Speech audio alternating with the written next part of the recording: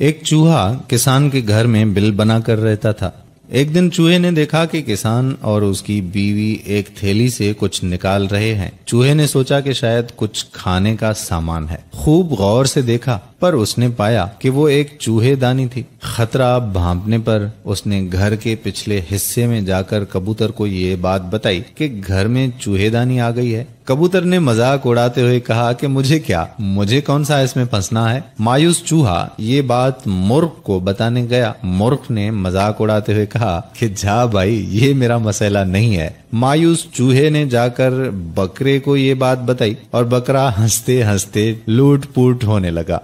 उसी रात चूहेदानी में खटाक की आवाज़ हुई, जिसमें एक जहरीला सांप फंस गया था। अंधेरे में उसकी दुम को चूहा समझकर किसान की बीवी ने उसको निकाला और सांप ने उसे डस लिया। तबीयत बिगड़ने पर किसान ने हकीम को बुलवाया। हकीम ने उसे कबूतर का सूप पिलाने का मशवरा दिया। कबूतर अभी बर्तन में उबल रहा था। खबर सुनकर किसान के कई रिश्तेदार मिलने आ पहुँचे, जिनके खाने के इंतज़ाम के लिए अगले दिन मुर्ग को जिबा किया गया। कुछ दिनों के बाद किसान की बीवी मर गई। जनाजा और मौत जियाफत में बकरा परोसने के अलावा कोई चारा न था। चूहा दूर जा चुका था। बहुत दूर।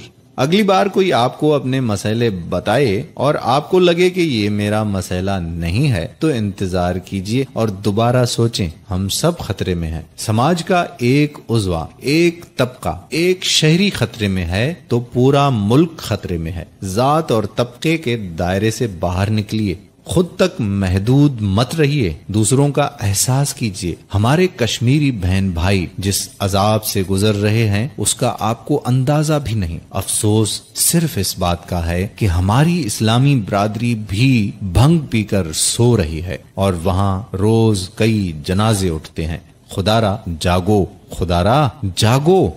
आप सल्लल्लाहु अलैहि वसल्लम ने फरमाया कि जिसने एक शख्स की जान बचाई, गोया उसने पूरी इंसानियत को बचा लिया। एक हदीस में है कि नबी करीम सल्लल्लाहु अलैहि वसल्लम ने फरमाया कि तुम में से जो भी बुराई देखे तो उसे अपने हाथ से रोके। अगर उसकी ताकत ना हो तो ज़ुबान से रोके। और अगर उसकी भी ताकत ना हो तो दिल से रोके। और ये ईमान का कमज़ोर तरीन दर्जा है। अगर आपके दिल में इंसानियत के लिए थोड़ी सी भी हमदर्दी है, थोड़ी सी भी तो इस पैगाम को ज़्यादा से ज़्यादा शेयर कर दें। जजाकल्ला खैरा। आने वाली वीडियो तक इजाज़त दीजिए। अल्लाह हाफिज। डाउनलोड मौज